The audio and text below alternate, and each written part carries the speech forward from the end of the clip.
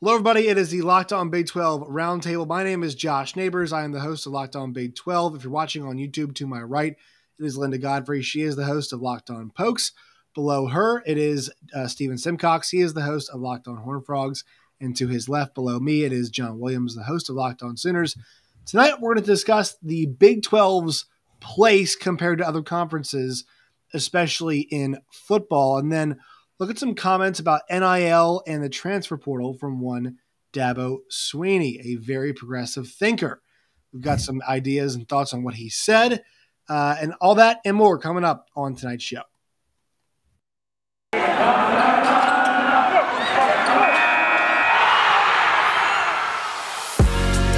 You are Locked On Big 12, your daily podcast on the Big 12 Conference, part of the Locked On Podcast Network.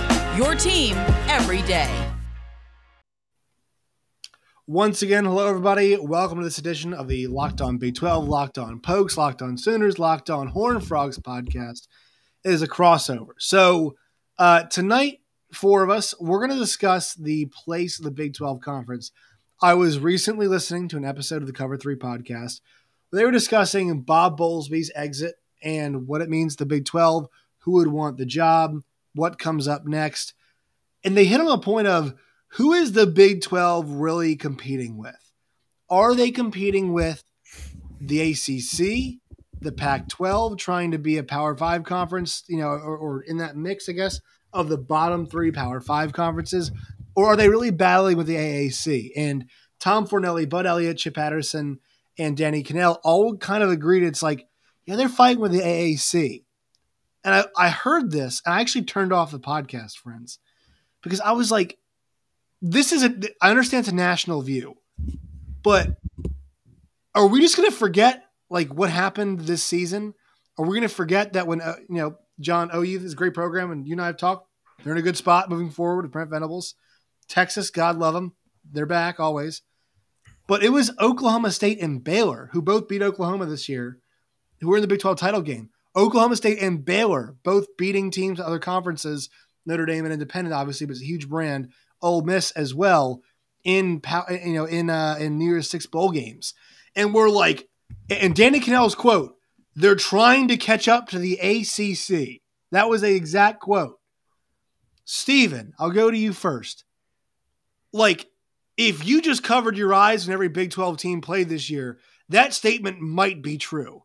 If you watched any football, that statement is completely false. If you watched ACC football, and Big 12 football this season.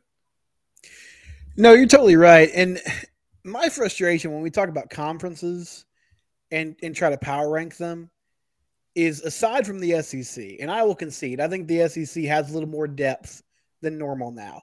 But we're still really like because the knock on the Big 12 essentially that I think is fair is that they haven't excelled in playoff situations. And of course, we're really only talking about one team in there, and that's Oklahoma because they've been the one that's gotten there. But when we talk about the ACC lately, if we're discussing them as a strong conference, it's been Clemson and only Clemson. And, you know, we'll see what Clemson does here in the next few years. Pitt had a really nice year last year. Um, you know, Wake Forest surprised some people. But those are schools that, I mean, traditionally are pretty similar um, and I would say a level below, you know, a Baylor and Oklahoma State, some of the, uh, I guess, schools that are slightly there, if we're talking about brand names behind Oklahoma and Texas. Um, you know, when we talk about the Pac 12, uh, that league has really struggled. And I guess we were going to include one team, it would be Oregon in the playoff era. Um, the SEC, it's really Alabama and Georgia. And then I think they benefit from the fact that it seems like either LSU or Auburn kind of every, you know, once a recruiting cycle has a team that's talented enough to also be in the national conversation. Um, my concern about the Big 12 moving forward, and I don't really know how to pinpoint where this failure is. I, I don't want to put it all on Bob Bowlesby, but to a certain extent, like perception is reality. And I don't think on a national level, people actually pay attention and watch the conference. And like this is a small thing, but you still see that stupid joke every time an NFL game breaks out in a shootout, and you've brought this up before, Josh, of like, oh man, Big 12, Big 12 football on a Sunday night. And it's like, have you watched the Big 12 lately? Like the identity of the league has completely changed.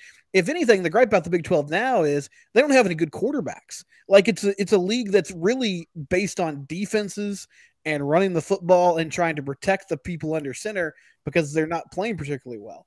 Um, this is not like the Patrick Mahomes, Baker Mayfield, Kyler Murray league that we saw, you know, even five or six years ago. The the coaches have changed the the way these teams are structured has changed, uh, and I don't know how to make up for that. But it's a really lazy take. Like I, I just you, you poach some teams from the American Conference, and now you're competing with the American Conference. Like these are good football programs that you're bringing in. Cincinnati was in the playoff. Houston had a really nice year under Dana Holgorsen. UCF has shown some staying power. BYU was its own sort of entity out there on the West Coast and had a lot of success against the Pac-12. We'll also whipped the shit out of the Pac-12 this year. Yes, lest we forget and, that. And it's almost like the Big 12 gets punished for having parity. Like you know, for a long time, OU it's the most the, interesting league. Yeah, it OU was the head of the league. Last year they weren't. We'll see what happens moving forward. But I think because of the round robin schedule, because these teams see each other so often, and yeah, because maybe um, there's not just one team that's head and shoulders better than everyone they they sort of get forgotten because we we do get so consumed by the playoff discussion. But no, to answer to answer your question in a short way, I don't think they're competing with the American Conference, but I do worry about that becoming, you know, the narrative around the league because people just simply don't really pay attention to the league. That's the danger, right, Linda? I mean, as as somebody who covers a team that was really, you know, the conversation was, hey, Oklahoma State or Cincinnati, but now you know it's not i'm not saying either or here but they're bringing cincinnati into the fold. Like who the hell in the, in the AAC are are they competing with? Bye bye to also to uh, houston. Bye bye ucf they're gone. So who memphis? Like like who else linda? Like who else who else in the AAC they're competing with? Also football and basketball too. Like like honestly AAC basketball might have a better claim at getting you know the Big Twelve then Big Twelve. It's not a claim very much. Then Big Twelve football, especially those teams added on. Yeah, well, like Stephen said, it's all about narrative, and unfortunately, we fall on a negative spectrum on that. In in any kind of conversation, Big Twelve is is thought of of some like laughing stock. You can't. We're not as bad as some place, but we're not as good as another place, and I find that comical OU, Baylor, Oklahoma State were all in the conversation late into the season for playoff contention. Cincinnati made it to the playoffs. Sure, they got their asses kicked, but they made it. OU's been more there. competitive than some teams were against Alabama. Yeah, we've been eh, we've been there before, but like the idea that it's some poor conference is absolutely insane to me. And you said like the clip was going to piss me off, so I'm actually kind of glad that you just summarized for us, and I didn't have to listen to it. Uh, John, so uh, you know, I'll ask you as somebody who had Lincoln Riley, like the Pac-12 is prompted up by a prop, excuse me, propped up by Phil Knight because Oregon, we're not sure what they are, and you know, like, I mean, we have got no clue what New Oregon looks like under Dan Lanning, and Lincoln Riley at USC. Those and once again, I think USC gets good eventually, but like when what what tells us that USC Lincoln Riley looks any different than OU Lincoln Riley when they play LSU, right? Yeah. Or in Alabama. Like, will they still get their asses kicked at the line of scrimmage? That's still the big question. So, you know, when when you hear this stuff about, you know, you covered OU this year and see they, they weren't in the Big 12 championship game, and, it, you know, it wasn't a fluke or anything. It's just there were some teams that were better this year. They just got beat. When, yeah, it's got beat. And so you hear this, you think about, like, okay, like what's Clemson, who just got rated of both their coordinators, rightfully so, because they're very good coaches, props up the ACC. A new coach and Phil Knight are propping up the Pac 12. What the hell are we talking about here? I mean, this is what the kind of middle America slash Texas media has argued for years. It's the West Coast, East Coast media bias. You know, as soon as Lincoln Riley got to USC, all of a sudden, Lincoln Riley was interesting, and everybody wanted to have him on their show, whether it was ESPN or Fox Sports. Colin Cowherd, in particular, was the biggest Lincoln Riley homer of all time. All of a sudden, as soon as he got to USC, because it makes West Coast college football more interesting, which means more ratings for West Coast media products, which means more money. And so there's just going to be a lot more interest to those teams on the coast because they want those those programs to be better and they want those conferences to be better. I will say, yeah, you know, Oklahoma or sorry, the Big 12 is in that kind of second tier behind the SEC and the Big 10. Uh, mm-hmm. but really, in the Big Ten, what are we talking? Mostly, it's Ohio State. Yes, you had a Michigan jump up. You had a Michigan State one time make the playoff, but really, it's Ohio State and kind of everybody else. And so I think, like everybody's talking, the the Big 12 does get punished a little bit because of its parity, but also because of its location. I think people just don't take Middle America as seriously as it should, which is weird because you look at Texas in particular, it is the hottest recruiting bed in all of football. And right. I mean, everybody is clamoring for Texas high school kids, and yet the schools that come from there, you know, four currently in the Big 12, about to add Houston, they're not considered as as much of a football conference or much of a football power as the ACC. Kind of odd to me. I mean, maybe Miami gets a little bit little bit better with Mario Cristobal, and the ACC starts to get a little bit more competition for Clemson. But we'll see. I mean, Miami hasn't really been a, a serious program for what 20 years now. Uh, since the early 2000s, it's it's hard to remember them like competing on a national stage, and so I think a lot of it just comes down to the fact that East Coast, West Coast, they want those programs that they're they have vested interests in to be good and those conferences to be be really good, and they're going to promote them as much as they possibly can because it's going to get more ratings, more advertising, and more money for those networks. I think the Big 12 is is in a great shape in the future, even after Oklahoma and Texas leaves, to have a very competitive conference. I think people quickly forget that it was politics that had led to Cincinnati, Houston, uh, and really Cincinnati and Houston in particular being mm. outside mm. of the quote unquote power conferences. I mean, Houston could have been a Big 12 member long ago, but they weren't because of politics. Cincinnati was in the Big East, which was a power conference at one point in time, especially the 2000 to 2010 run, but with Michael Vick at Virginia Tech and Matt Ryan at Boston College. Those were fantastic programs in those 2000 to 2010 years. I mean, great football came out of the Big East before it dissolved. And it's not Cincinnati's fault that the Big East couldn't run itself and they ended out ended up outside of the Power Five. It's just politics. That's where that comes from. Now Cincinnati's back. Houston's in a major media market. They're going to be great. UCF has shown that they can build a program out in Orlando, Florida, of all places. And BYU has consistently been a, a, really good team for the last, what, two decades? I mean, I still have nightmares of seeing BYU pummel Sam Bradford at AT&T Stadium and breaking his, his collarbone in a season that they were supposed to contend for potentially a national title. And so people are sleeping on these teams that, that the Big 12 brought in as, yes, they were AAC teams or BYU and independent – they're still really strong football programs with rich histories. And it, again, it was politics that kept them where they were for so long. And while it may not be all Bob Bowlesby's fault for where the Big 12 is on a national level, I think that they could have had a little bit more aggression in expanding the conference to create a little bit more competition in the Big 12. And then it's draft season. And so that's a hot topic right now. And a lot of people are looking at what does the Big 12 produce as far as NFL draft talent? College Football right. News put out their top, you know, they ranked all every program from 1 to 130 uh, just this week. And if you look at the top 25 programs in producing NFL talent over the last five years, the Big 12 just had one school in the top 25, and that was Oklahoma. Texas mm-hmm. was just outside the top 25 with uh, at number 26. But then you look at the rest of the the conferences, and SEC leads the way with seven teams, ACC with six, Pac-12 with five, Big Ten with five. And again, some of that could just be the national narrative about these players in the Big 12 because we look at them like a guy like Nik Bonitto, who should be one of the better pass rushers in consideration in the NFL draft. And he's being projected as a second and third rounder by most places, even though he's had good production, he's got good traits. I think that's the case for a lot of Big 12 players. Jalen Pitre, who had a fantastic year at Baylor. And Terrel the, Bernard, too. Terrel Bernard, yeah, one of the yeah. couple of the best defenders in the Big 12 are getting slighted a little bit. I think partly because of this national narrative that's at, at play. Uh, I'm just going to read you guys this Arizona 24 16 win for BYU. Uh, number 21, Utah 26 17 win. Number 19, Arizona State, 27 17 win. Uh, Washington State on the road, 21 19 win for BYU.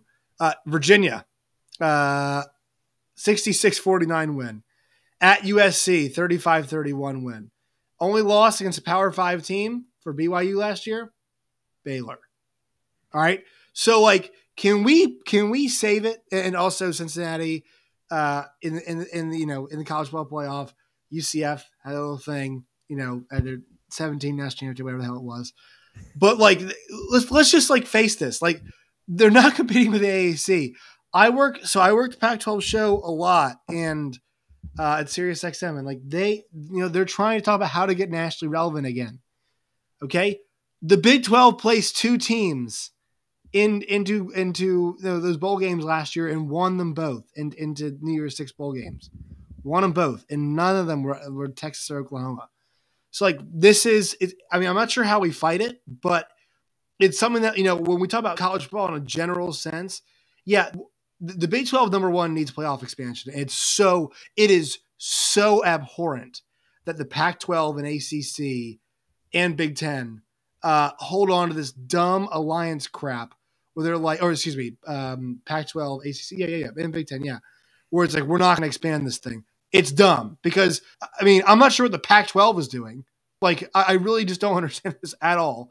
Once again, Pac-12, and then also ACC mentioned before, Clemson getting both their co- their coordinators robbed, and we'll get to some of Dabo's comments because I'm not sure how long he is for this 10 win position all the time. Uh, you know, if he keeps treating things the way he does, but the, everything's changing. We should expand the playoff, and expanded playoff. The Big 12 is very much alive. In a four team though, let's just say it still says four teams.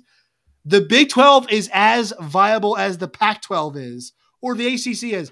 Clemson played Iowa State this year in a bowl game. They weren't not they were not involved. All right. I was there. Pitt played Wake. God love both those teams. It was awesome. Then neither team had a shot at the playoff. So like what we talk about here with guess whose championship game mattered for potentially college football playoff spot? Ours did. The Big 12s did. Not the ACC and not the Pac 12. So save it. Please save it.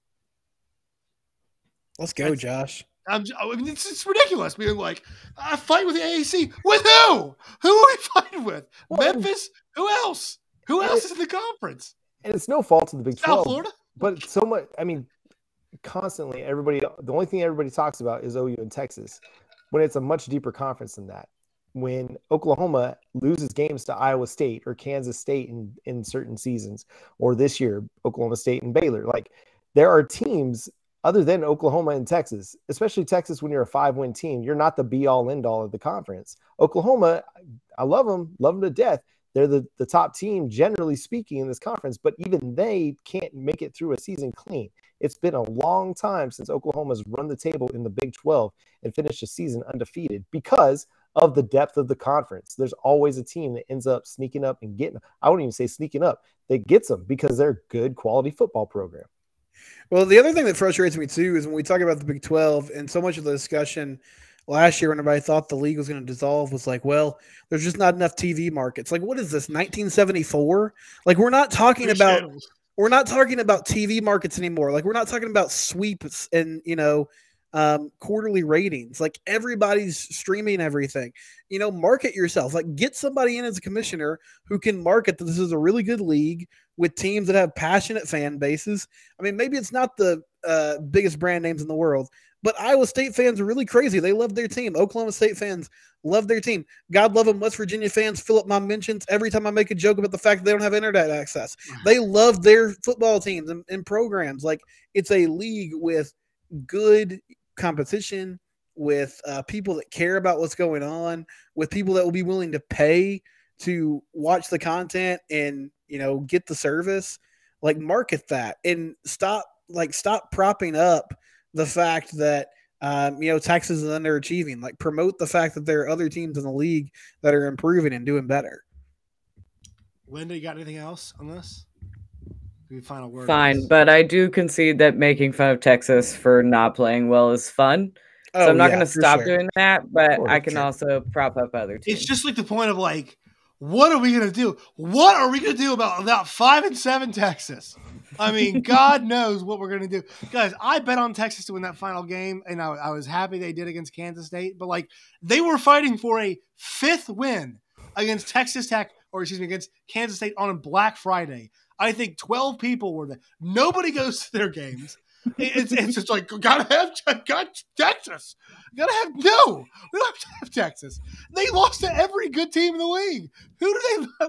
They they beat TCU in a fun game in September. Sorry, they didn't beat Kansas, which is they, they, didn't beat Kansas. They didn't beat OU. They didn't beat Iowa State. They didn't beat Oklahoma State. They didn't beat Baylor. All right, they did not beat any of those teams. So it's like, what are we gonna do when the Longhorns leave? Oh, what are we gonna do when their half-empty stadium gets see Gary Jennings give them the horns down from West Virginia? God, I mean, put the fear of God into us when we lose them. Sure, it's a huge brand. Enjoyed SEC. They're going to go four and eight in the SEC West, wherever you stick them. I mean, I, I think Sark's going to do well, but like this, it's just it pisses me off so much that we have to deal with. I mean, is you know, are they going to have to worry about SMU and and uh, and worry about Memphis? No, no, they're not going to have to worry about SMU and Memphis. Like the Pac-12 sucks, and we're like can the Big 12 be as good as, you know, uh, the ACC, which has got Louisville and Syracuse? Yes, I, I think they're going to be okay. Yeah. I think the Big 12 will beat their ass every time they played them. They should add SMU and, and, and Memphis, in my opinion. Yeah, the only two teams worth a damn. That's why I keep bringing them up. Yeah, I think that'd be fun. Also, why should I care about revenue? Like, I'm going to be poor either way. This money doesn't go in my pocket. It's like all these SEC fans are like, "Well, we have big content." Like Aggies, God love you. I mean, you you're in a cult. It's fine. I get it. You're spending all this oil money on big time recruits. Good luck. I still think you're going to finish third in the SEC West. But like, stop bragging about your TV contracts. It's not going to you. It's not like a local right. church. Like, it's not coming back into your pocket. It's you're just watching the games. I'm really looking forward to figuring out how Jimbo Fisher is going to play six defensive linemen out of the 2022 class.